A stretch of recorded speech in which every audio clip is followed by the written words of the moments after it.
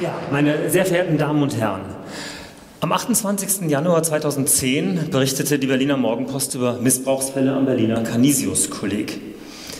Am 27. Januar 2022 war hier bei uns im Haus die große Pressekonferenz der Erzdiözese München und Freising zum Münchner Gutachten.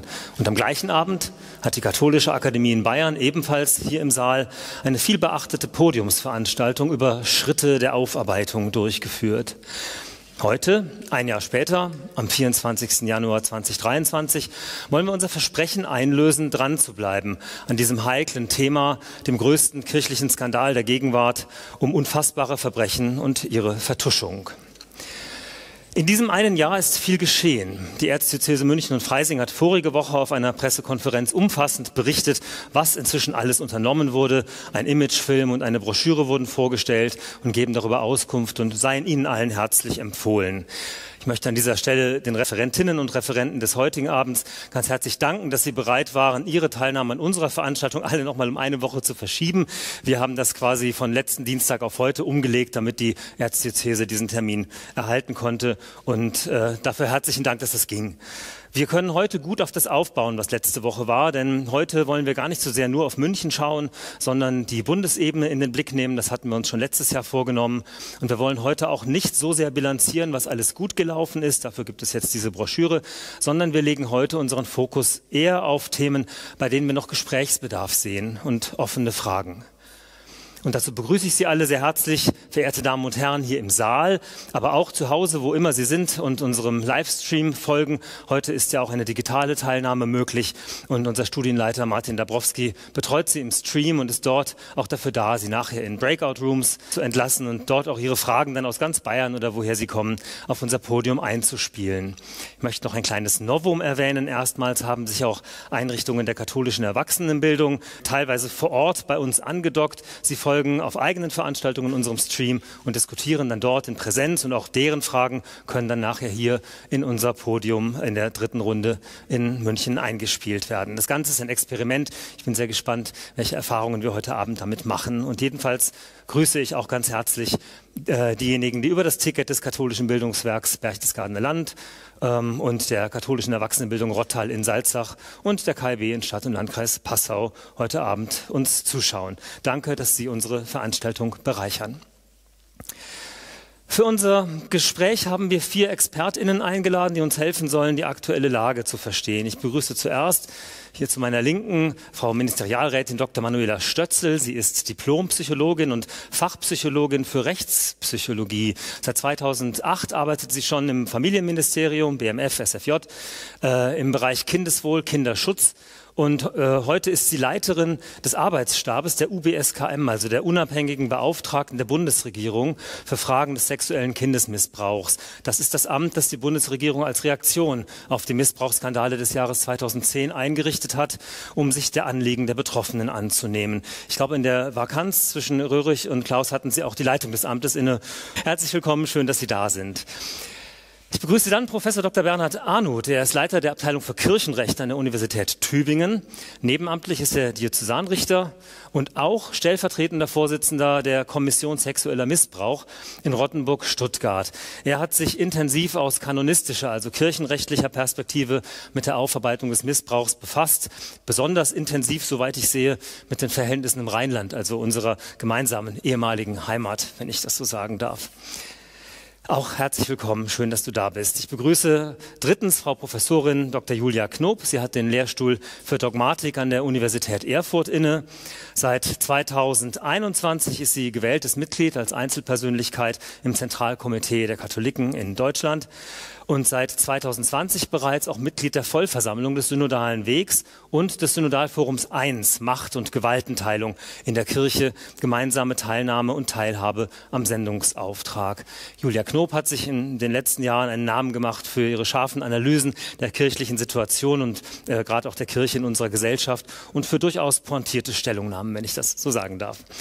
Für Julia Knob und Bernhard Arnold gilt, dass wir uns aus unserer Bonner Studienzeit kennen. Auch wenn wir jetzt Bernhard uns, glaube ich, seit Jahrzehnten nicht gesehen haben. Trotzdem, wir sind per Du und ich würde vorschlagen, wir bleiben das auch heute Abend. Äh, das käme mir sonst irgendwie ein bisschen komisch vor. Gut, dann begrüße ich Viertens, last but not least, Herrn Johannes Norpot. Er ist Diplom-Sozialwissenschaftler und arbeitet bei der Wirtschaftsprüfungsgesellschaft Curacon. Dort ist er mit dem Thema Datenschutz, aber auch mit Personalentwicklung befasst. Das heißt, er ist gewohnt, mit einem professionellen Blick auf Prozesse zu schauen. Das fließt sicher auch in sein ehrenamtliches Engagement ein.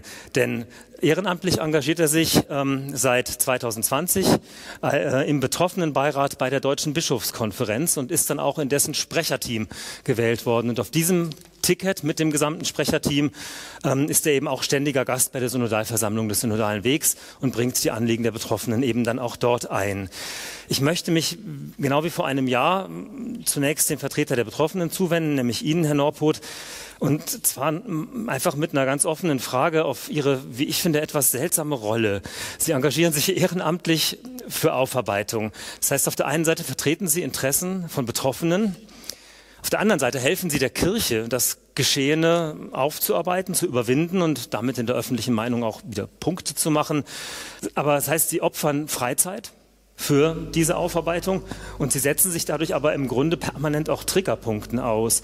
Ganz persönliche Frage. Äh, dadurch wird dieses Thema ja in ihrem Leben, äh, nimmt es ja viel mehr Raum ein, als es müsste. Also äh, ähm, hat die Thematik nicht damit eigentlich zu viel Macht über sie? Sie könnten das doch ganz anders dosieren, wenn sie sich da nicht noch ehrenamtlich engagieren würden. Ja und nein. Ich will es mal so ausdrücken. Ähm Macht ist ähm, in meiner persönlichen Wahrnehmung jetzt ähm, nichts Negatives, sondern eher eine Gestaltungsoption. Also insofern ähm, würde ich das an dieser Stelle ähm, für mich mittlerweile verneinen, dass dieses Thema Macht über mich hat. Ähm, vielleicht habe ich das, das unsäglich oder unfassbare Glück, nicht unsäglich, das unfassbare Glück, ähm, dass ich über die, die Jahre hinweg, insbesondere meiner persönlichen Aufarbeitung, meine Sprachfähigkeit an dieser Stelle wiedererlangt habe. Jetzt muss man dazu sagen, dass ich, ähm, bevor ich mich im Rahmen der Betroffenenarbeit ähm, engagiert habe und ein Stück auch in dieser katholischen Kirche geoutet habe, so eine kleine Verbandsgeschichte nicht hinter mich gebracht habe, sondern auf dem Buckel habe. Viele Jahre auf der Bundesebene, zum Beispiel der Kolpingjugend oder des BDKJ gearbeitet. Ich war viele Jahre Mitglied im Bundesvorstand ähm, des Kolpingwerks Deutschland. Und ähm, insofern A, sicherlich bekannt auf der Ebene, aber B, auch ähm, mir Zugang, mir hat diese Geschichte einen Zugang gegeben, um die Stimme von Betroffenen deutlicher zu positionieren, als das bis jetzt der Fall war. Weil das muss man ehrlicherweise sagen, dass bis, zum, äh, bis zu der Vereinbarung, bis zu der gemeinsamen Vereinbarung es keine strukturelle ähm, Stimme gab für Betroffene. Und selbst heute es immer noch zu erheblichen äh, oder da erheblicher Nachholbedarf ist, was Vernetzung etc. Ich gucke gerade auf den Kollegen ähm, des betroffenen Beirats hier in der Erzdiözese München und Freising. Wir müssen wissen, das gesamte katholische Deutschland ist in irgendeiner Art und Weise strukturell vernetzt. Es gibt von der Ortsebene bis zur Bundesebene in nahezu allen Bereichen eine Durchgängigkeit. Viele von Ihnen kennen die katholischen Verbände, zum Beispiel das Kolpingwerk, das ist mal ein Beispiel, ja? oder der Frauenbund oder die Jugendverbände, aber auch die Pfarrgemeinderäte. Nur genau das ist eben bei den Betroffenen zum Beispiel nicht passiert. Und insofern ist das vielleicht für mich oder ne, wenn, der, wenn der liebe Gott an dieser Stelle mir noch die Sprachfähigkeit zum Glück gelassen hat, die vielen, viele Betroffenen abgeht, die sie nicht haben. Mhm dann ist das ähm, vielleicht auch nochmal eine dankbare, nicht nur eine dankbare, sondern eine wichtige Aufgabe, die Dinge einfach ins Wort, ähm, ins Wort zu bringen. Und aufgrund meiner persönlichen Geschichte in der ja. Schöpfungsgeschichte steht, als erstes erschuf der liebe Gott das Ehrenamt. Also insofern ist das für mich nicht negativ besetzt.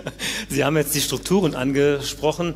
Sind Sie insgesamt oder die Betroffenen, die Sie auch vertreten, insgesamt zufrieden mit den Strukturen, in denen diese ehrenamtliche Arbeit jetzt möglich ist? Oder gäbe es da Änderungswünsche, damit sich der Einsatz für Sie äh, auch noch etwas mehr lohnt oder, oder, fruchtbarer werden kann. Da ist noch unfassbar viel Luft nach oben. Mhm. Also die Frage der Vernetzung ist eine so eine Frage. Ähm, der Betroffene war bei der, bei der, Deutschen Bischofskonferenz, da legen wir großen Wert darauf. Ähm, wenngleich ich seit gestern schon fast gewillt bin, die ein oder andere Solidaritätsbekundung zum einen oder anderen deutschen Bischof zu senden. Zu fünf nicht, aber das ist nochmal eine andere Frage. Ähm, da ist Luft noch nach oben, wenn man sich anguckt ähm, oder wenn man sich überlegt, wir machen wir Betroffenen, die wir uns in der Betroffenenarbeit engagieren, machen das nicht, weil es uns wahnsinnig viel Spaß macht, weil wir eine Erfüllung darin sehen, sondern weil, wie gesagt, bei uns noch Sprachfähigkeit da ist, anders als bei vielen Hunderten und Tausenden anderen von Betroffenen. Und da wird das Engagement mehr oder minder als normal vorausgesetzt, weil ja vieles im Rahmen des katholischen Laienkatholizismus ehrenamtlich organisiert wird. Ähm, und dann müssen Sie um Fragestellungen von Aufwandsentschädigungen, von Kilometergeld kämpfen. Und das ist schon ähm, besonders. Deshalb ist da jede Menge Luft nach oben, angefangen von der Diözesanebene auch bis zum äh, Sekretariat der Deutschen Bischofskonferenz, mhm. weil die sind dafür verantwortlich. Deshalb nehme ich die Bischöfe an dieser Stelle mal expresses Verbes davon aus. Das betrifft die Ausstattung genauso wie Strukturen der Vernetzung und so weiter. Frau Alles. Stötzel, Ihre Einrichtung hat die bestehenden Strukturen ja mit den Bischöfen ausgehandelt. Ähm, wie beurteilen Sie die aktuelle Situation? Er sagt Luft nach oben. Wir hatten gerade den traurigen Fall in Köln, wo der Vorsitzende eines betroffenen Beirats zurückgetreten ist. Ähm, ist das eine bedauerliche Ausnahme oder ist da doch irgendwo noch ein Konstruktionsfehler? Wie schauen Sie auf diese Strukturen nach einigen Jahren, in denen sie jetzt quasi äh, beschlossen und dann aufgebaut wurden? Mhm. Ein bisschen der Blick in die Glaskugel, das fällt natürlich schwer und ähm, man müsste eigentlich in die Differenzierung gehen und die verschiedenen Konstellationen Dafür in den. Wir ja da. Genau, genau. Da, oh, da reicht die Stunde wahrscheinlich nicht. In die, also man müsste in die einzelnen Bistümer schauen und da haben wir, auf, wir auf Bundesebene nicht an jeder Stelle den, den äh, totalen tiefen Blick, aber natürlich bekommen wir die großen und auch medialen Prozesse äh, mit und ähm, als Mitkonstruiererin der gemeinsamen Erklärung. Ähm, da muss man sich ja auch ein paar Sätze zu sagen, kann ich davon ausgehen, dass das, dass das allen bekannt ist, ähm, ist das natürlich schon wirklich ein bedauerlicher ähm, Rücktritt und tut das richtig weh. Also wenn es gelingt, und das ist in vielen Bistümern gelungen, auch hier sitzt ein Vertreter einer äh, solchen Kommission, ähm, wenn es gelingt, in einer ehrenamtlichen Konstruktion, für die wirklich ähm, herausgehobene Bedeutung, die, so war zumindest unsere Zielvorstellung, auch diese Kommission ähm, ausfüllen, erfüllen sollen. Das haben wir lange verhandelt. Wenn da, auch da geht es sicher um Rahmenbedingungen und Haltungen und alles Mögliche, ne, ähm, wenn, wenn es nicht gelingt, ähm, das ins Laufen zu bringen. Das ist, das, das ja, ich glaube, man kann auch sagen, das schadet dem Prozess insgesamt, ähm, weil das natürlich die, also die große Zielsetzung, auch die wir hatten, und das macht man über so langweilig erscheinende Instrumente wie Vereinbarungen, Erklärungen, man baut Strukturen. Die bringen zunächst mal jedenfalls eine Verbindlichkeit rein, dafür sind die da. Die müssen aber mit Leben gefüllt werden, mit Menschen, die das machen, in, in nicht immer einfachen Rahmenbedingungen. Diese Rahmenbedingungen muss man irgendwie an eine Verwaltungsstruktur packen und dann wird es oft eng. Ne? Ich sitze ja hier selber auch für eine Verwaltung, auch wir haben einen betroffenen Rat beim Amt schon sehr lange. Ähm, das ist, äh, die sind für uns eine Bank und begleiten auch die, die fachlichen und politischen Fragen des Amtes. Ähm, wenn hier ein Mitglied sitzen würde, würde es auch Wünsche formulieren und aus, aus gutem Grund. Ähm, aber es ist zumindest ein Weg und dem muss man kann man ja fast nicht sagen, weil Zeit ist wahnsinnig viel ins Land gegangen, aber dennoch, diese, diese Vereinbarung ist noch gar nicht so alt. Die wird jetzt, muss ich kurz rechnen, im Juni drei Jahre in der Unterzeichnung.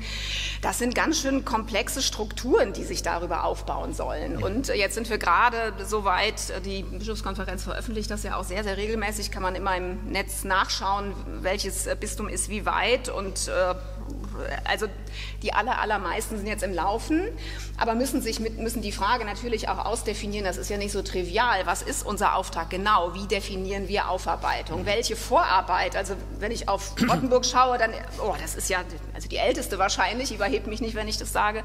Da gibt es also eine Geschichte, eine Historie. Vorarbeiten und das ist 27 Mal, wenn wir die Militärbischöfe noch dazu nehmen, 28 Mal anders und Bund muss immer antreten mit dem Ziel, wir versuchen einheitliche Kriterien zu formulieren und das führt, egal in welchem Themenfeld Sie unterwegs sind, dazu, dass es Extremer gibt. Köln war leider eins und mhm. das ähm, äh, schafft natürlich auch keinen, nehmen wir den Begriff Vertrauen in diese Strukturen und ähm, mhm. das ist natürlich schon ein Problem. Ähm, ja. Jetzt hat sie dir den Ball schon zugespielt, der ähm das war ja tatsächlich auch der Vorwurf im Raum, dass die Unabhängigkeit der Strukturen in Köln in Frage stand. Wie schaust du als Jurist auf, auf diese Unabhängigkeit? Siehst du das gewährleistet oder äh, siehst du auch noch Luft nach oben? Und quasi, wie könnte der Raum nach oben beschritten werden? Vielleicht muss ich vorher klarstellen, dass die Kommission, der ich angehöre und den stellvertretenden Vorsitz innehabe, eine Interventionskommission ist, ähm, die es in Rottenburg als Sonderfall schon länger gab. Ähm, und wir sind als Kommission sexueller Missbrauch in Rottenburg genau in Frage der Umsetzung der gemeinsamen Erklärung ähm, nicht müde geworden, immer wieder darauf hinzuweisen, dass auch die Geschichte der Kommission sexueller Missbrauch aufgearbeitet werden muss und wir das nicht selber machen können und sollten. Insofern, also die Aufarbeitungskommission gibt es parallel dazu, die findet sich auch gerade noch. Das nur, um die Strukturen zu klären. Stichwort Unabhängigkeit. Also als Kirchenrechtler stolpere ich darüber, dass die Mitglieder der Aufarbeitungskommissionen bischöflich befristet ernannt werden. Ähm, dann mögen da zwar einige Mitglieder von der Landesregierung vorgeschlagen werden und insofern tatsächlich jetzt nicht aus den kirchlichen Strukturen heraus in die Kommission wachsen, aber sie werden alle vom Bischof benannt. Und das auf drei Jahre. Wiederernennung ist möglich. Das heißt, die, mal, die Entlastung des Bischofs von unliebsamen Aufarbeitungskommissionsmitgliedern bedarf nicht einmal einer Abberufung, sondern kann einfach durch Nicht-Wiederberufung geschehen. Weshalb ich das Etikett Unabhängigkeit da nicht draufgeklebt hätte. Ähm, aber eben die Tatsache, dass hier Mitglieder nicht von der Kirche ausgesucht werden, sondern tatsächlich zum Teil von der Landesregierung vorgeschlagen, das sind Elemente, die in, in eine gute Richtung gehen. Ich bin mit dem Begriff Unabhängigkeit insgesamt zurückhaltend. Der wird kirchlich schon mal sehr schnell zur Entlastung von Hierarchien verwendet.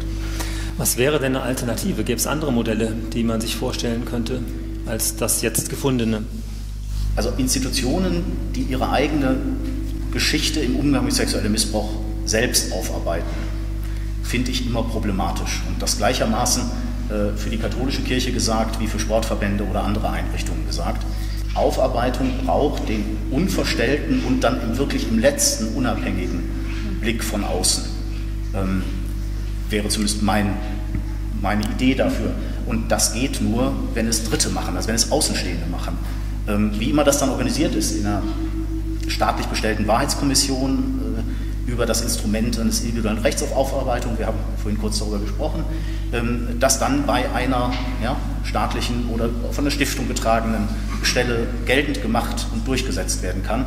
Das scheint mir der Königsweg und der einzig wirklich erfolgsversprechende Weg. Das, also die Bemühungen mit den Aufarbeitungskommissionen will ich damit nicht schlecht reden. Ich nehme da auch, das was ich so mitbekomme, wirklich viel Engagement war in einer Aufgabe, die ehrenamtlich eine echte Mammutaufgabe ist. Mhm. Ähm, mhm. Also insofern da vollen Respekt für alle, die sich da engagieren, aber wenn du fragst, wo ich Luft nach oben sehe, da sehe ich sie noch. Julia, wie würdest du das aus theologischer Sicht sehen? Ihr habt im Forum 1 ja viel über die Verteilung und auch über die Legitimation von Macht nachgedacht. Siehst du hier die Prozesssteuerung, sage ich mal, äh, richtig verortet? Oder wo gehört das aus, aus theologischer Sicht hin? Also ich glaube, aus, aus, Sicht jetzt der Erfahrungen auch vom synodalen Weg ist äh, eine Differenzierung wichtig, eine Aufgabendifferenzierung, die von Anfang an angelegt worden ist. Da kann man darüber streiten, ob die richtig war. Ähm, aber es gibt zunächst mal eine Aufgabenverteilung, dass man sagt, ähm, die konkrete Aufarbeitung, also die konkrete Bistümer, Namen, Daten, Zeiträume, Schwere von Vergehen und so weiter ähm, betrachtet, das ist nicht Aufgabe der Synodalversammlung, sondern die Synodalversammlung kümmert sich auf einer etwas abstrakteren Ebene um das, das, was man systemische Faktoren, also etwas bildlich gesprochen, die Schieflage, die im System Kirche, auch in der Spiritualität, in der Theologie von Kirche, im Amtsverständnis und so weiter selbst mit drinsteckt und die Missbrauch leichter möglich macht und schwerer ahnden lässt. Das sind schon mal zwei sehr verschiedene Aufgaben und ich würde noch eine andere Aufgabe unterscheiden, das ist die Aufgabe der Strukturentwicklung von Bistümern. Ich würde sagen, Strukturentwicklung von Bistümern ist Leitungsaufgabe. Da muss die, die Führungsspitze auf jeden Fall mit drin sein, da muss auch Überzeugung von oben bis unten durchgetragen werden. Aber ich würde sagen, Aufarbeitung, also Selbstkritik, ist keine pastorale Aufgabe, ist keine Aufgabe von Leitung, denn dann haben wir sofort diese Rollendiffusion, dieses Ineinander von Rolle, dann ist der Bischof gleichzeitig der Richter, der Kläger, der Beklagte, der Verteidiger ähm, und spitzt sich dann in dieser Rolle zu. Das halte ich für hochproblematisch und da ähm, wird im Grunde ein altes Bild von Kirche wieder mitkolportiert und da, glaube ich, müssten auch wirklich staatliche Stellen nochmal reingehen. Ein altes Bild von Kirche, wir nennen das in der Theologie die Societas Perfecta, also die, die Gesellschaft, die im Grunde alles selber regeln kann, die ihre eigenen moralischen Regeln, ihre eigenen Strukturen hat, wo keiner reinfunken darf und wo es keine Kriterien geben darf von außerhalb, denen sie gehorchen muss. Ähm, also das wäre für mich so ein Punkt, wo man ganz klar sagen muss, Unabhängigkeit der Aufarbeit, das müssen Dritte machen, ähm, um genau diese Rollendiffusion nicht hinzukriegen kriegen. Es gibt aber, ähm, letzter Punkt, es gibt eine Berührung, Synodalversammlung und Aufarbeitung, das sind die regelmäßigen Berichte. Und Also ich würde sagen, es ist gut, dass es die gibt, dass Bischof Ackermann und demnächst Bischof Dieser berichten, was aus ihrer Perspektive verlaufen ist. Und es ist noch besser, dass Johannes Norpot oder einer von euch ähm, dann darauf reagiert. Aber es ist, also es ist gut, weil es eine gewisse kritische Öffentlichkeit dafür herstellt. Aber es ist zugleich ein Symptom eines, eines problematischen Verhältnisses, denn wenn ähm, derjenige, der zuständig ist, ähm, wenn der einen Selbstbericht macht, dann kann das nur eine Erfolgsgeschichte sein. Dann kann das nur etwas sein, wo ganz viele Komparative drin sind. Wir müssen noch mehr auf die Betroffenen zugehen, wir müssen noch mehr hören und, und, und. Wir kennen alle diese, diese Floskeln. Und das die Synodalversammlung ist ja auch nicht das Gremium, das einen solchen Bericht entgegennehmen könnte. Die hört sich das an, aber die ist nicht wie bei einer Wirtschaftsprüfung oder bei einer Akkreditierung in der Rolle zu sagen, so Freund, und an diesem Punkt machst du jetzt dies und jenes und wenn nicht, dann wird das und kommen diese und jene Konsequenzen. Also da haben wir wieder dieses, wir, wir regeln es selbst, wir loben uns selbst, wir holen uns das Lob auch noch von der Repräsentanz von Kirche ab. Und wenn du sagst, da müsste eigentlich von außen noch mehr Druck kommen oder da müsste der Staat quasi das, das, das, das Steuer in die Hand nehmen, wie kann man denn dann umgekehrt gewährleisten, dass sich die Kirche dann nicht, wie soll ich sagen, fein rauszieht? Also in Österreich das Beispiel äh, ist ja äh, kursiert, äh, wo quasi eine staatliche Kommission das macht und dann aber die Kirche da auch theologisch das letztlich nicht mehr aufarbeiten muss. Also wie kann man denn dann umgekehrt gewährleisten, dass die Kirche ihren Teil der Hausaufgaben trotzdem macht ähm, und sich dann nicht darauf zurückziehen kann, dass das läuft jetzt dort? Ich glaube, indem man sich ganz klar macht, welche Aufgaben alle zu tun sind. Die Aufarbeitung ist eine Aufgabe, die ist zu tun, die muss getan werden, aber diese Ebene Analyse systemischer Faktoren und Entwicklung von Kirche, die muss ja auch getan werden. Und ähm, deswegen würde ich da sagen, das eine tun, das andere nicht lassen und vor allem die Rollen genau klären. Ich sehe bei einer Delegation der Aufarbeitung an Dritte ein Riesenvorteil, aber auch eine Gefahr, dass man eben sagt, okay, dann können die das ja machen, dann kann bei uns alles so weitergehen wie bisher, weil ja der Rest super ist ne, und der Rest keinen Erneuerungsbedarf hat. Aber da kommen wir dann, da kommen wir wahrscheinlich später noch zu, also in grundsätzliche Fragen, wo sitzt eigentlich das Problem Missbrauch in der Kirche ne? und, und welche Folgerungen lassen sich aus dieser Verortung von Missbrauch ableiten und wer hat dann welche Aufgaben? Mhm. Das bringt mich jetzt nochmal zu Ihnen, Frau Stötzel. Die UBSKM, Kerstin Klaus, wurde damit zitiert, dass sie grundsätzliche Bedenken an der Aufarbeitung in der katholischen Kirche anmeldet. Ähm, welche Bedenken sind das denn auf Ihrer Seite? Was, was müsste sich aus staatlicher Sicht in der Kirche konkret ändern? Mhm. Ich weiß genau, welche Meldung Sie im Kopf haben. Das war ja rund um die Kölner Konstellation, ne? An, ja. Anfang äh, Dezember. Ähm, und äh, also die, die, Bedenken, das klingt jetzt sehr grundsätzlich, ähm, also das würde sie so wahrscheinlich ähm, explizit nicht formulieren, sondern ähnlich wie ich das auch am, am Anfang getan habe. Also die Konstellation ist äh, sicher, sicher ein, ein Rückschritt nochmal auch in den, in den äh, Debatten, einfach weil das, äh, ja, weil das die Fragen, die wir hier auch behandeln, natürlich zu Recht auch aufwirft. Was ist da los und ist die Unabhängigkeit über diese Konstruktion sichergestellt? Und genau die Frage, an der Sie auch diskutieren, also die haben wir natürlich auch, also vor drei Jahren schon ein bisschen her, aber von links nach rechts und von rechts nach links gewälzt. Wie löst man das? Und wir hatten drei Maxime äh, klar im Blick und äh, werden auch, das kann ich einmal sicher deutlich sagen, äh, das wird kein Modell für alle Ewigkeit sein. Ähm, das werden wir natürlich auswerten und da sind ja auch über die Berichtslegung so Strukturen angelegt und müssen dann gucken, nochmal so oder finden wir andere Instrumente, zum Beispiel ein Gesetz, auch da arbeiten wir dran. Das war eben auch in der politischen Situation 2018, Fulda ganz frisch, MHG da, alle riefen irgendwie, der Staat muss Verantwortung, aber wenn man dann ins Detail geht, was meint wer damit, dann, dann wird es echt knirsch. Also das muss man wirklich definieren und über. Das Kriterium Unabhängigkeit, Transparenz war uns wichtig und eben die, die Beteiligung Betroffener, das ist ja ein ganz starker Ast ähm, in, der, in der Erklärung. Ähm, das haben wir so gebaut ähm, und wir müssen sehen, auch über die Berichte aus den Kommissionen, ob das trägt. Also gerade das Element, die Kritik höre ich nicht zum ersten Mal und kann sie gut nachvollziehen und wir denken da auch viel drüber nach, ähm, müsste man das anders bauen. Ähm, das ist ja eine ja, eine, eine, Konstruktion darüber richtig, das steht da so drin, der Bischof beruft und Wiederwahl, Sie haben das explizit zitiert. Ähm, äh, wir waren aber schon auch von dem Gedanken getragen, dass wir gesagt haben, also die komplette Wegdelegation, wir hätten die Frage auch an wen nicht beantworten können, das muss man mal ganz ehrlich sagen. Kein Parlament und keine Regierung schreit hier, große Kommission machen wir, bis heute nicht, würde ich sagen. Ähm, also muss man eine neue Konstruktion bauen und muss Unabhängigkeit beginnen zu definieren. Wir haben Bänke gebaut haben, gesagt, okay, die Landesregierung muss mindestens einen Job machen. Es war nicht überall so leicht. Ihr müsst unabhängige Experten, die ihr für geeignet haltet, entsenden. Und äh, das ist ein Element.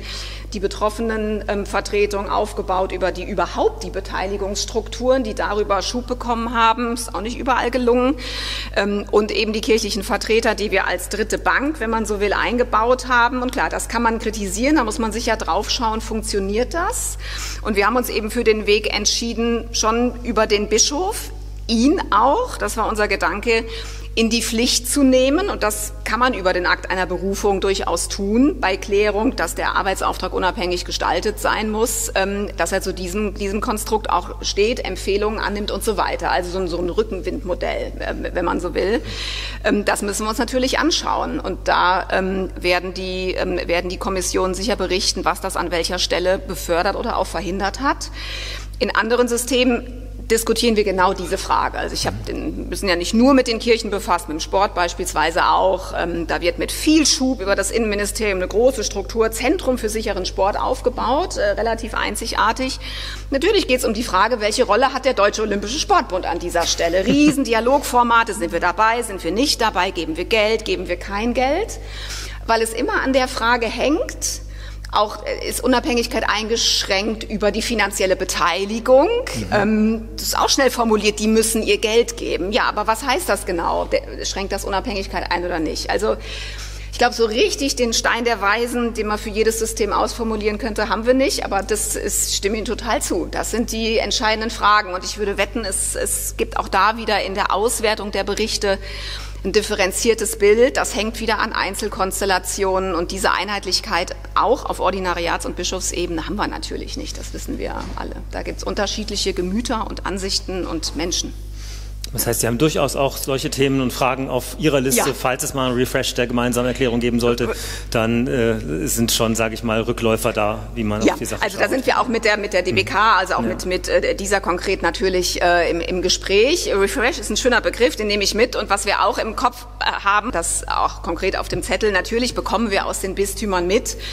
Ähm, äh, also man macht so ein Papier, eine Erklärung und hat ähm, an jedes Detail nicht gedacht. Also es gibt, gibt ähm, Inhalte, die einer Auslegung bedürfen. Da haben wir schon Interesse dran, das mhm. auszugestalten. Beispielsweise ist ähm, auch äh, also bundesweit wahrgenommen worden über die Frage der betroffenen Vertretung im stellvertretenden Vorsitz in, den, in dem großen Ostbistumsverbund. Ne? Ähm, das ist sicher eine Konstellation, über die wir uns, bevor wir nächstes Jahr auswerten, mal Gedanken machen müssen. Das werden wir auch tun. Das muss man klären. Mhm. Erhoffen Sie sich Veränderungen äh, von der Bundesregierung? Es gab ja im Koalitionsvertrag erstmals mhm. eine Ankündigung zu der Thematik. Äh, was soll der Staat konkret vielleicht noch an, an, an gesetzlichen Änderungen oder Voraussetzungen schaffen, äh, damit Sie da besser agieren könnten? Mhm. Ja, also das ist, ähm, das haben Koalitionsverträge so an sich. An mancher Stelle sind sie explizit und deutlich, an anderen Stellen nicht. Ähm, das heißt, das liegt bei uns. Das ist aber ja auch gut, das jetzt schon auch mit auszugestalten mit dem Familienministerium, wo wir organisatorisch angesiedelt sind. Aber die sitzen ja im Kabinett und bringen sowas ein. Also für das Amt selber soll es eine gesetzliche Grundlage geben. Das ist sowas sind sicher Instrumente und Ausdruck von politischem Willen. Das macht man nicht, wenn man als Bundesregierung davon ausgeht, boah, in drei Jahren ist das Thema dann endlich mal durch und dann schaffen wir das wieder ab. Ähm, aber das, was die so richtig spannenden Punkte sind, ähm, sind, wie wird da Aufarbeitung gestaltet? Und da ähm, ist das Bild nicht total klar. Mhm. Wir vertreten die Position und äh, sind da auch in, ähm, in äh, guten Gesprächen auch mit dem, mit dem Familienministerium, ähm, dass es überhaupt auch eine gesetzliche Verankerung von Aufarbeitung als Struktur auf Bundesebene braucht. Das würde konkret, wir haben ja auch eine Kommission beim Amt, äh, die boah, also fast 2000 Anhörungen inzwischen durchgeführt hat, die arbeitet ohne eine gesetzliche Grundlage. Ähm, da muss man eigentlich, ich bin keine Juristin, aber ich habe gelernt, ähm, Anhörung auf der Basis, das ist äh, ganz, ganz wichtig und ist mit allem politischen Rückenwind, aber ähm, das und ist auch, auch abgesichert, aber ähm, es wäre sehr viel mehr Ausdruck von einem politischen Willen, das ganz klar zu implementieren. Und wir müssen darüber debattieren. Ähm, da bin ich gespannt, wie die Diskussion läuft. Ähm, also wir müssen daran auch über ein, über ein Bundesgesetz oder auch landesgesetzliche Regelungen individuelle Rechte von Betroffenen zu formulieren, für verschiedene Systeme Akteneinsichtsrechte zum Beispiel und was auch würde das heißen, wenn es ein, ein, wenn es ein individuelles Recht auf Aufarbeitung mhm. gibt? Was, was würde das konkret für die Betroffenen bedeuten? Also man muss dann übersetzen, das könnten Sie wahrscheinlich viel besser als ich, was sind denn die Interessen? Akteneinsichtsrecht, klare Ansprechstrukturen auch, Entschädigung aber nicht nur. Und, die, und, und das, da muss man jeweils schauen, okay, wo, mhm. sind die, wo sind die Bereiche für das System Kirche, aber auch für mhm. andere, wo würde man das regeln und wie muss man die Institution in die jeweilige mhm. Pflicht holen. Herr Norput, was, was müsste in so einem Gesetz stehen? Das individuelle Recht auf Aufarbeitung. Ich glaube, das ist ein, ein, ein absolut zentraler Punkt, weil von da aus gehen ganz viele Dinge ab. Ähm, und das eben nicht nur im Raum der Kirche, sondern egal wo, überall da, wo sexualisierte Gewalt und Missbrauch ähm, passiert. Was, ähm, was haben wir im Raum der Kirche? wir stellen fest, dass äh, die Gerichtsbarkeit nicht mehr funktioniert, weil wir im Verjährungsbereich sind. wir stellen fest, dass es völlig unterschiedlichste Ansätze von Aufarbeitung innerhalb der katholischen Kirche gibt. wir stellen fest, dass auch die Wahrnehmung der Öffentlichkeit eine unterschiedliche ist, weil das, was zum Beispiel die Diözesen herausgeben, die Studien der, Miss, ähm, der, der, der einzelnen Bistümer ja keine Aufarbeitungsstudien sind, sondern nur Analysen von Missbrauchsgeschehen aus bestimmten methodischen Blickwinkeln. Köln rein juristisch. Was das gebracht hat, wissen wir.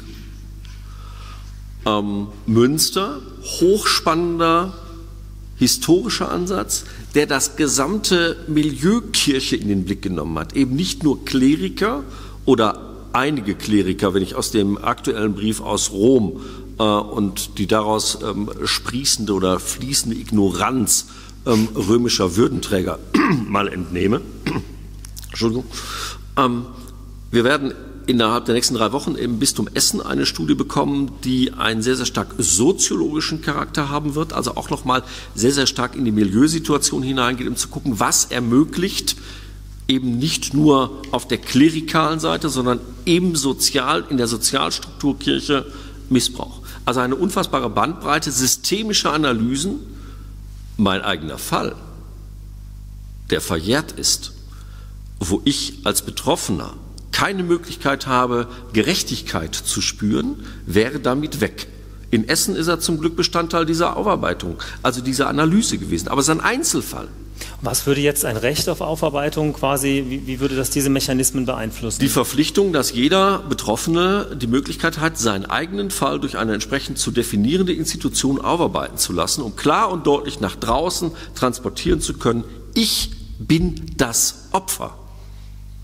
Ich bin der Überlebende und nicht ein namenloses, waberndes Etwas in einer Institution, die sich im Rahmen der Kirche zum Beispiel mhm. seit Jahrzehnten strukturell intensiv Mühe gegeben hat, genau diese Situation zu verhindern. Mhm. Und dazu gehört am Ende auch als individuelles Recht eben, ja. die eine Seite ist die Aufarbeitung, also den Fall tatsächlich aufzuarbeiten. Dazu gehört aber auch, dass Betroffene das Recht haben, Akteneinsicht zu bekommen. Mhm. Okay. Und nach hinten raus ergibt sich daraus auch eine Rechtsgrundlage für die Aufarbeitungskommission, denn auch die arbeiten in den Bistümern im Moment ohne Rechtsgrundlage. Und als kleine Anekdote, was, was kümmert man sich als Mitglied einer solchen Aufarbeitungskommission als erstes? Um die Haftungsfreistellung des Bistums. Damit Juristen, zum Beispiel wie die von Herrn Zollitsch, einem nicht an das eigene Portemonnaie gehen. Das ist Realität der Aufarbeitung in 2022 und 2023. Zu den Methoden haben wir nachher noch mal einen ganzen Block, aber ich möchte zwischendrin noch mal, Julia, zu dir kommen. Ähm, eines deiner Grundthemen ist ja auch die Frage nach der gesellschaftlichen Relevanz von Kirche und Religion in einer zunehmend säkularen Gesellschaft. Da ist Ostdeutschland ja in der Entwicklung ein paar Jahrzehnte voran, sage ich mal, gegenüber Oberbayern. Würdest du dir auch aus dieser Hinsicht manchmal wünschen, dass der Staat seine Standards stärker in der Kirche geltend macht und könnte vielleicht sogar das Standing der Kirche als Einrichtung in einer tendenziell immer kirchenferneren Gesellschaft, äh, könnte das diesem Standing zuträglich sein? Oder ist ja, das, das geht jetzt, führt jetzt, glaube ich, noch, noch mal eine ganze Kurve raus, aber das, mhm. das würde ich ähm, als aus der, gut, aus der mittelostdeutschen Perspektive ganz klar bejahen.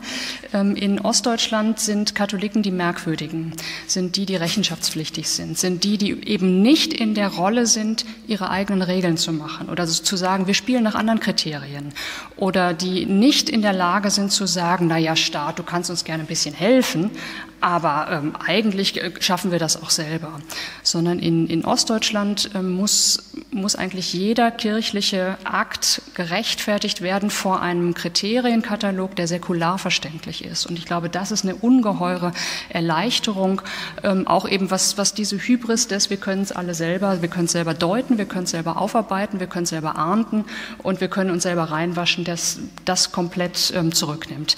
Jetzt kann ich nichts dazu sagen, wie das mit den Aufarbeitungskommissionen in Ostdeutschland der Fall ist, in den Ostbistümern. Da bin ich einfach zu wenig drin. Ich glaube, da gibt es auch ähm, Luft nach oben, vielleicht nochmal eine andere Luft nach oben.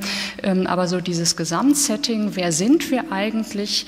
Ein, ein Player, ein kleiner Player, ein sehr ähm, zu vernachlässigender Player in einer sehr pluralen Gesellschaft, das hilft, was die eigene Relativierung angeht, mhm. glaube ich, sehr, sehr stark. Ich bleibe noch mal ein bisschen bei der öffentlichen Aufmerksamkeit. Äh, ich habe den Eindruck, dass die öffentliche Aufmerksamkeit für das Thema des sexuellen Missbrauchs äh, durchaus schwankt. Also es gibt immer diese Wellen, wenn es mal ein paar Wochen sehr, sehr groß ist.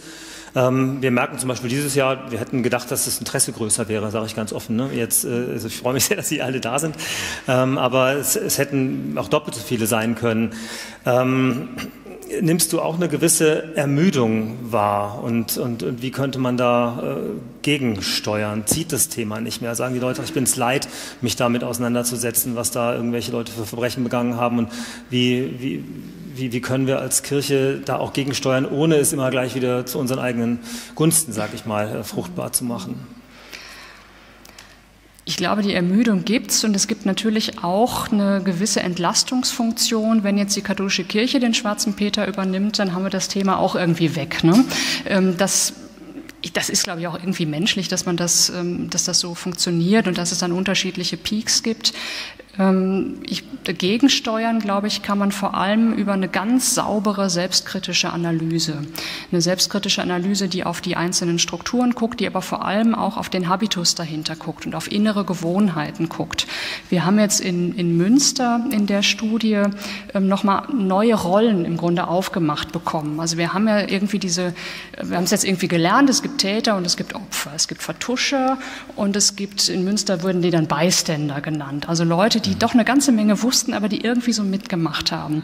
Und ich glaube, es wäre wichtig, dass wir uns alle klar machen, ähm, dass wir von allen diesen Rollen Anteile in uns haben und dass das nicht so klar ist. Also dass jetzt nicht, wenn man jetzt Täter, Vertuscher, Beiständer und, ähm, äh, und Betroffene selber nimmt und alle anderen sind irgendwie raus, sondern dass das, ähm, dieses Gefälle, von dem ich vorhin sprach, oder die Missbrauchsanfälligkeit dieses Machtsystems Kirche, dass das ähm, Strukturen ähm, durch, durchmischt, dass das Gewohnheiten, dass das die eigene Glaubensbiografie durchmischt, dass das eigene Gewordensein in der Kirche davon betroffen ist. Also, dass wir auch alle mit unserem Denken, mit unserem Beten, mit unserem Glauben ein solches anfälliges System, prekäres System mitstützen und davon aber auch gleich, also auch gleich darunter zu leiden haben. Also das, das ist etwas, was mir immer deutlicher geworden ist, wie, ähm, wie vernetzt das alles ist auf einer thematischen Ebene, aber eben auch bis in die individuellen Rollen hinein. Und da eine gute Analyse zu machen, das war, ne, was, wo kann man da wirklich auch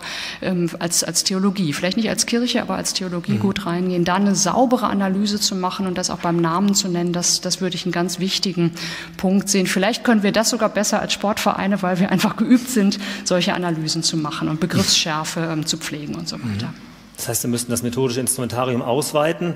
Ähm, andere Frage ist aber, Bernhard, auch, äh, was ist mit den Instrumenten, die wir schon haben? Ich hatte ehrlich gesagt, als wir vor einem Jahr hier standen, habe ich gedacht, wenn wir die Folgeveranstaltung machen, dann haben wir aus kirchenrechtlicher oder überhaupt juristischer Sicht einen ganz anderen Stand an Klarheit äh, als, als vor einem Jahr. Ich dachte also, da, da, die, das sind ja offene Fragen aufgeworfen. Es gab ja auch Reaktionen. Papst Benedikt hat sich geäußert, Kardinal Wetter hat sich geäußert, Dominikan Wolf hat sich geäußert. Und äh, da sind ja durchaus strittige Dinge drin. Ich hatte erwartet, dass, das, dass sich jetzt alle Kanonisten darauf stürzen und das aufarbeiten und dass wir dann irgendwann einen Stand haben, so, der hat Recht, der hat Unrecht. Äh, ist mir das entgangen oder gab es das nicht? Oder wie, wie, wie, wie ist da der, der aktuelle Kenntnisstand? Ja, die Erwartung kann ich nachvollziehen. Ähm, sie ist gleichwohl nicht realistisch. Denn wenn man sich einfach mal klar macht, wie viele tausende Seiten da jetzt in den letzten Jahren in den unterschiedlichen Diözesen mit ganz unterschiedlichen methodischen Ansätzen, Herr Norput hat es gerade angesprochen, äh, verfasst worden sind, ähm, da muss man die auch erstmal alle lesen. Mhm. Ähm, und wenn man sie also nicht nur wie ein Krimi liest, sondern begutachten will, also aus einer fachlichen Perspektive einordnen und bewerten will, dann kostet das einfach sehr viel Zeit. Damit geht es schon mal los. Ähm, und die meisten Kanonisten, die das unabhängig tun könnten, sind ja in anderen Jobs äh, und müssen das neben Forschung und Lehre an der Universität äh, noch machen. Also natürlich reicht das Thema auch in unser Fachgebiet rein, ähm, aber äh, man könnte im Moment dranbleiben, nur diese Dinge quasi zu begutachten, eine nach der anderen. Und dazu kommt, sie sind eben alle so unterschiedlich, dass man sich im Prinzip in jede der diözesanen Untersuchungen auch eigens neu reindenken muss. Ähm, und das Stichwort Unabhängigkeit äh, wird in Köln ganz groß geschrieben in Bezug auf äh, das Gerke-Gutachten, also das Gutachten der Strafrechtskanzlei äh, Gerke und Kollegen, glaube ich, ähm, das im Erzbistum Köln konsequent bis heute ähm, und medial mit ordentlich Power aus der Pressestelle als unabhängige Untersuchung verkauft wird, sage ich jetzt mal so ungeschützt. Ähm, und da ist Geld reingeflossen, ähnlich wie in die Münchner Gutachten viel Geld geflossen ist, wie in das Aachener Gutachten Geld geflossen ist und in das Berliner, das sind die, die mir jetzt spontan einfallen, die nämlich alle von Anwaltskanzleien geschrieben worden sind. Und ähm, Anwaltskanzleien, die man für ein Gutachten bezahlt, über dessen Veröffentlichung man nachher selber entscheiden kann, wie in Köln vorgeführt, ähm, verdienen das Etikett Unabhängigkeit aus meiner Sicht nicht.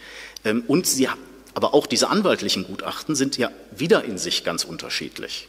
Wenn wir uns erinnern, dass das WSW-Gutachten ähm, in Köln nicht veröffentlicht werden durfte, wegen angeblicher oder tatsächlicher methodischer und fachlicher Mängel, ähm, stattdessen ein neues Gutachten beauftragt worden ist, das anders ansetzt. Die gleiche Kanzlei WSW, aber Aachen und München, jetzt, das ist ja der Anlass ein Jahr nach dem hiesigen Gutachten, ähm, begutachtet hat und dafür sich als schonungslose Aufklärer hat feiern lassen oder feiern lassen konnte, das sei dahingestellt, dann wird ja klar, also du musst mit jedem Gutachten neu anfangen, dir klar machen, was passiert da, was passiert da nicht. Die kirchenrechtliche Qualität des Gerke-Gutachtens ist nicht so hoch, wie ich finde. Jurist bin ich nicht, aber da sagen andere, juristisch ist das in mancher Hinsicht gut, aber ähm, der Verfasser vertritt eine Einzelmeinung oder zumindest eine Mindermeinung, abweichend von der höchstrichterlichen Rechtsprechung. Also all diese Dinge, ja, also wer gewichtet was wie, Amtshaftung, äh, was ist ein Ordinarius, woran wird Verantwortung im kirchenrechtlichen Kontext gegeben, das muss man für jedes Gutachten einzeln auseinanderklamüsern und das kostet einfach richtig viel Zeit. Und in Köln hatte es den Effekt, äh, um das zumindest noch kurz gesagt zu haben, dass durch die rein juristische Perspektive ähm, es um reine Pflichtverletzungen im juristischen Sinn ging. Und äh, auf dieser Grundlage sich jetzt Bischöfe darauf berufen, sie hätten ja nur juristisch, äh, nur moralisch äh, sich falsch verhalten, aber nicht juristisch. Und das gilt dann, Achtung, aus dem Mund katholischer Bischöfe als Entlastung. Ähm, so, da sind die anderen, also Münster kenne ich und ähm, mhm. Auf Essen freue ich mich. Also da habe ich eine deutlich größere Sympathie, weil da auch realistischer nämlich auf die Strukturen drumherum geguckt wird. Nicht nur welcher Amtsträger hat was nicht getan, ja, gemeldet, verfolgt oder was auch immer, sondern auch geschaut, wer hat denn mitgewusst, wer hat denn etwas gewusst und nichts unternommen. Vielleicht war er nicht rechtlich verpflichtet, was zu unternehmen, aber doch mal sicher moralisch. Ähm, und das scheint mir jetzt in den sozialwissenschaftlichen oder historischen äh, Gutachten deutlich besser zu gelingen. Aber nochmal, für jedes Gutachten brauchst du unterschiedliche und je neue Expertise, um die angemessen einzuordnen. Da würdest du sagen, das gibt die Innung im Grunde gar nicht her an Kapazitäten, äh, um das wirklich in dieser äh, in dieser Präzision mit diesem Aufwand zu betreiben. Das führt mich nochmal zu, was, was, passiert eigentlich in der UBSKM im Amt mit diesen Gutachten? Werden die dort, äh, also gelesen sicher, aber werden die aufgearbeitet, werden die analysiert? Geht da Manpower oder Womenpower rein? Ja, geht sie. Ähm, sicher nicht in dem Umfang, auch wie wir das gerne würden. Also neben den, also auch die anderen Bereiche, eben den, den Sport als äh, kleines System, was natürlich riesig ist, so genannt, das, das ist auch unser, unser Job, unsere Verantwortung, also äh, aufgeteilte Kräfte. Also man müsste tatsächlich also den Angang wählen, natürlich. Und ähm, das, äh, also der, der übergeordnete Gedanke, ähm, deswegen blicke ich auch mit Spannung auf die Auswertung zu dem, was jetzt für den katholischen Bereich über die gemeinsame Erklärung entstanden ist. Also ich habe da auch durchaus Respekt Respekt vor. Wie binden wir das zusammen?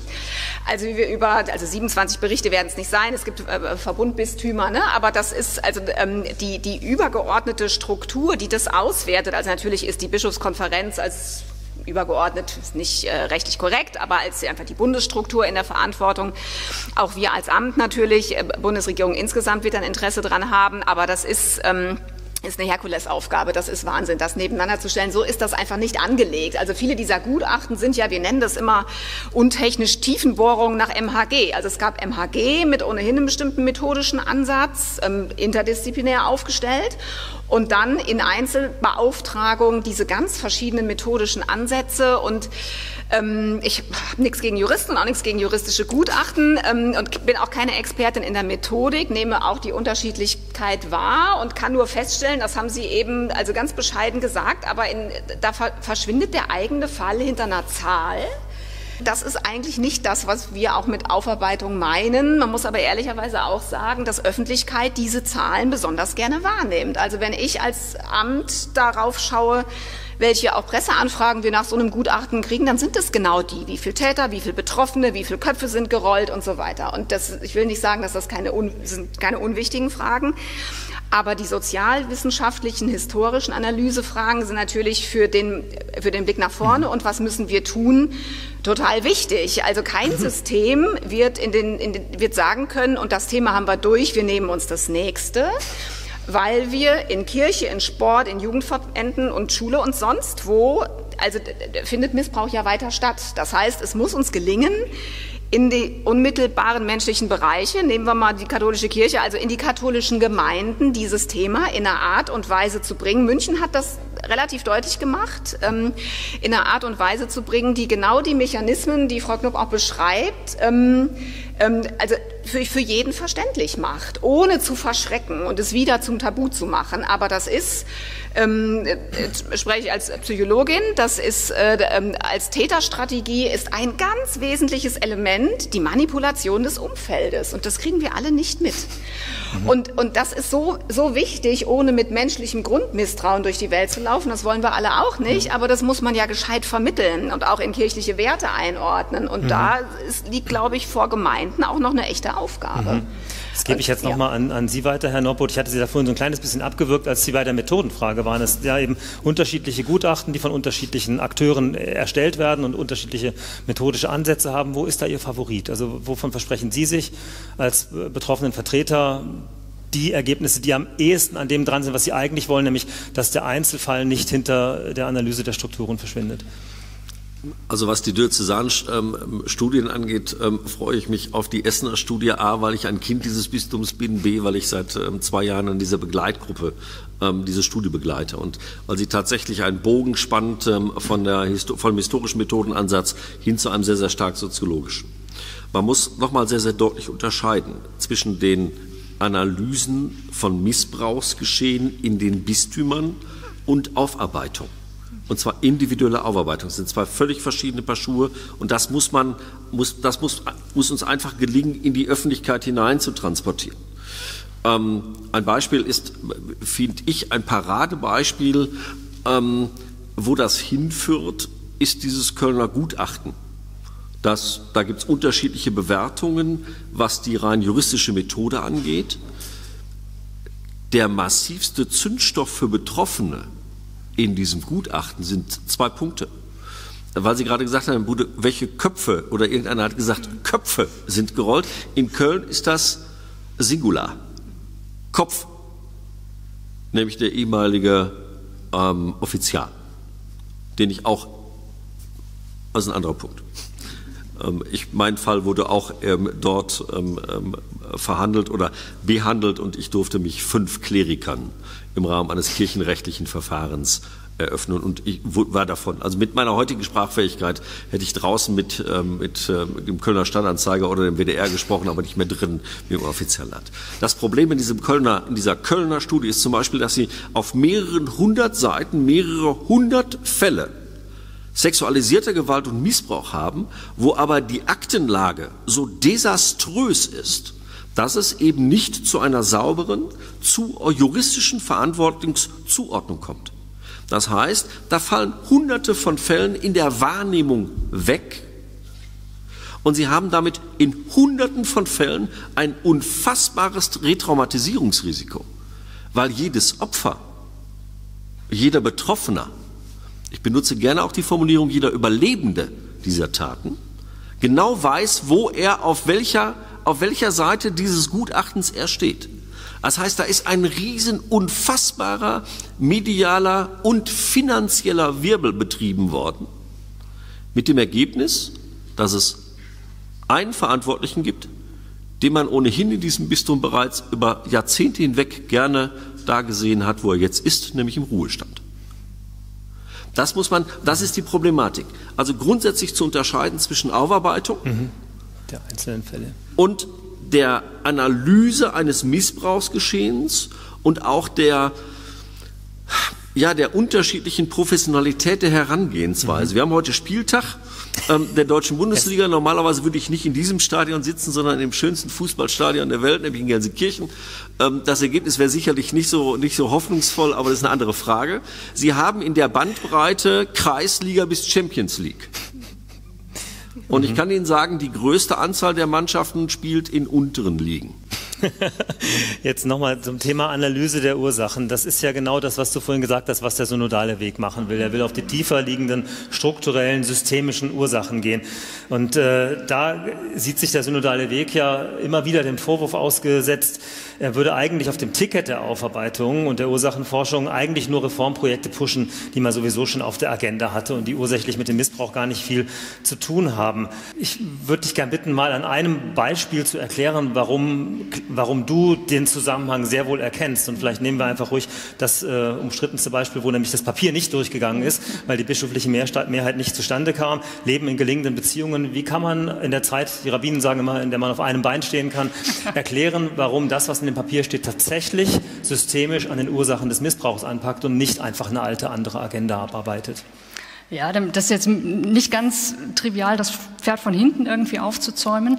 Ähm, ich glaube, ganz entscheidend ist die Frage, wo setze ich oder wo nehme ich Missbrauch im System Kirche wahr. Und Systemkirche, da meine ich Strukturen, da meine ich aber auch Theologie, Selbstverständnis, da meine ich Spiritualitäten mit, also wie, wie kriegt man diesen Zusammenhang hin? Denn der Vorwurf ist ja, ihr benutzt Missbrauch, was ganz Schreckliches, wo alle sofort sagen, da muss man was tun, um was ganz anderes, was damit nichts zu tun hat, ähm, zu beheben. Und das heißt, die Nachweispflicht besteht darin, diesen Zusammenhang zu zeigen. Also es gibt einen Zusammenhang zwischen ähm, einer, einer Häufung von Missbrauchsdaten einer bestimmten Qualität, Qualität jetzt nicht Niveau, sondern einer bestimmten Farbe ähm, und kirchlicher Lehre, kirchlichen Strukturen, kirchlichen Gewohnheiten. Und ich glaube, da ähm, ja, nochmal noch mal zurück. Und dieser durchgefallene Text, der also von einer ähm, ja, Minderheit, aber immerhin doch ähm, irgendwo 36, 40 Prozent, sowas der deutschen Bischöfe, 21 an der Zahl, die da waren, abgelehnt worden sind. Ähm, das ist im Grunde ein, ein Produkt ähm, einer bestimmten Wahrnehmung. Also dieser Text, der die Sexualethik neu aufstellen will, nämlich auf, ähm, aufhängen will an der Qualität einer Beziehung von Sexualpartnern und an der Integrität und Autonomie ähm, der eigenen geschlechtlichen Identität, ähm, der macht genau das, das ähm, oder der will genau das ähm, verändern, ähm, was als prekär und missbrauchsanfällig wahrgenommen wird. Das ist jetzt quasi von hinten aufgezäumt. Mhm. Aber ich glaube, einfacher wird es, wenn wir zwei Wahrnehmungen unterscheiden. Ähm, eine Wahrnehmung ist die, die sagt, ähm, Missbrauch ist ein Fremdkörper im System Kirche. Das System Kirche ist eigentlich gut. Die Kirche ist eigentlich heilig. Das Problem ist der Mensch. Die Lehre ist gut, die Moral ist gut, die Enterstruktur ist gut, die Hierarchie ist gut und nicht nur gut, sondern Gott gewollt. Das Problem sind einzelne schwarze Schafe und die muss man möglichst raus, raus äh, ja, irgendwie exkommunizieren oder irgendwie bessern oder irgendwas muss man mit denen machen, aber man setzt individualethisch an. Ähm, wenn man so ansetzt, ähm, ist eigentlich klar, man muss das System stärken. Denn da ist Missbrauch etwas, was passiert, wenn man sich nicht an die Regeln hält, wenn man der Morallehre widerspricht. Das ist eine Wahrnehmung, die vor allem die Kritiker des synodalen Weges in Deutschland teilen und die bis hinauf in die oberste Leitungsspitze, sogar bis hinauf zum Papst, würde ich sagen, getragen wird. Die heilige Kirche, einzelne schwarze Schafe, also muss man die schwarzen Schafe raus, ähm, rausschmeißen, aber das, das heilige System eigentlich weiter stärken. Das heißt, eine binäre Geschlechteroptik weiter stärken, Homosexualität weiter verurteilen, ähm, priesterliche Sexualität weiter tabuisieren, das Machtgefälle, das amtlich-klerikale Machtgefälle weiter stärken. Diese Perspektive ist eine, die der synodale Weg vom Grundsatz her eigentlich hinter sich gelassen hat. Und der, ähm, da ist jetzt die, die ähm, Grundüberzeugung im Missbrauch zeigt sich nicht etwas der Kirche Fremdes, sondern etwas zutiefst Eigenes. Missbrauch ähm, als Machtmissbrauch, als Gewalt, vor allem in sexualisierter Form, ist Symptom eines prekären Systems. Missbrauch entsteht, wenn man sich an die Regeln hält. Das klingt jetzt vielleicht erstmal komisch. Man kann das an diesem, an dem Begriff Klerikalismus vielleicht deutlich machen. Ähm, Klerikalismus als eine Überzeichnung, Überhöhung ähm, einer Ständeordnung und einer über- und Unterordnung von Klerikern und Laien. Jetzt kann man sagen, kann es das in der Kirche überhaupt geben? Wenn wir in die liturgischen Normen gucken, in die Ordnungen gucken, dann ist jeder Kleriker, der sich klerikalistisch verhält, richtig. Dann hält er sich an die Regeln, dann tut er, was er soll. Und wenn Klerikalismus quasi als Einstiegs, äh, nicht Einstiegsdroge, aber irgendwie als, als, als, als Beginn ähm, von Gewaltverhältnissen, von missbräuchlichen Machtverhältnissen beschrieben wird und wenn man sagen kann, Klerikalismus in dieser Hinsicht ist im System gewollt, gewollt, dann ist Missbrauch ein Symptom eines Krankensystems, das entsteht, wenn man sich, wenn man dieses System ernst nimmt und wenn man sich an die Regeln hält. Das heißt, diese beiden Wahrnehmungen sind grundverschieden ähm, und sie haben auch grundverschiedene Lösungen. Wenn Missbrauch ein Fremdkörper ist, muss ich das System stärken. Wenn Missbrauch aber Teil, Konsequenz, Symptom eines Krankensystems ist, dann muss ich systemisch ansetzen. Und das ist der Punkt, ähm, der ja bis hinauf nach Rom einfach ähm, also nicht akzeptiert wird. Ähm, das ist letztlich eine Wiederauflage einer alten Debatte. Kann man sagen, die Kirche selbst ist sündig? Oder gibt es nur einzelne Sünder in der an sich heiligen Kirche? Ich glaube, die Realität hat uns inzwischen so weit belehrt und auch die Analysen haben uns so weit belehrt und keine Missbrauchsstudie hat das entkräftet, ähm, dass wir selbstverständlich sündige Strukturen, dass wir Wurzelsünden, wenn man jetzt diese alten Begriffe mal nehmen will, in der Kirche haben. Das heißt, wir müssen systemisch ansetzen und können nicht nur den einzelnen Täter, den einzelnen bösen Menschen rausschmeißen oder ahnden. Aber, Aber grundsätzlich würdest du sagen, beide Lesarten die da konkurrieren und die nicht miteinander vermittelbar sind, lassen sich im Grunde jeweils intern auch störungsfrei denken. Also, oder naja, die lassen sich so lange störungsfrei denken, wie ich die Realität außen vor halte. Ne? mhm. Also ich glaube, wenn ich die Augen aufmache, kann ich nicht anders als, also es ist natürlich schmerzhaft und das ist auch beschämend und das ist ätzend und so, aber nach jetzt, also jetzt im 13. Jahr halboffizieller Missbrauchsaufarbeitung kann ich doch nicht mehr umhin zu sagen, es liegt auch was im System selbst schief. Mhm. Und ähm, kirchliche Doktrin, insbesondere insbesondere im Bereich der Sexualität, ähm, ist äh, nicht in jeder Hinsicht lebensförderlich. Es hat sogar lebens, lebensverachtende und menschenverachtende Züge. Und da muss man dran. Da kann man nicht sagen, aber, aber die Kirche ist heilig und mhm. wir wissen den Willen Gottes ganz genau. Hand aufs Herz, welche Chancen räumst du weltkirchlich dieser von dir favorisierten Lesart ein, dass eben nicht nur der Einzelne, sondern auch das System Kirche Schuld auf sich geladen hat, dass die Kirche Pekatrix ist? Relativ wenig, weil es äh, tatsächlich zu so einem konfessionellen Marker geworden ist. Die evangelische Kirche kann die Kirche sündig, denken die Katholiken aber nicht. Ich glaube, das ist ganz, ganz tief drin. Mhm. Ähm, vielleicht auch, weil wir im deutschsprachigen Bereich diese, also diese analytische Schärfe auch ähm, immer hochdrehen. Ne? Und das ist, glaube ich, nicht typisch für andere Weltgegenden. Ähm, ja, da bringt der weltkirchliche synodale äh, Prozess vielleicht da auch nochmal in anderen Gegenden etwas hervor. Aber gut, das werden wir beobachten müssen jetzt in der nächsten Zeit. Na naja, gut, da werden zumindest die Themen benannt. Also es hm. werden dieselben Reformthemen benannt. Das ist völlig klar. Das sind die Themen Machtgefüge, Amtsverständnis, Frauenbild und Sexualität. Das ist all überall. Das sind keine westdeutschen oder westlichen mhm. spinnerten ähm, Themen. Das ist völlig klar. Ähm, aber das jetzt wirklich in diese, auf diese theologische Ebene zu bringen, da sehe ich uns noch relativ ähm, alleine, zumal mhm. es sehr stark auch bekämpft wird. Mhm. Ja, mit äh, vielen Dank an, an dich, aber an alle vier. Wir sind am Endpunkt unserer ersten von drei Runden angekommen. Dankeschön.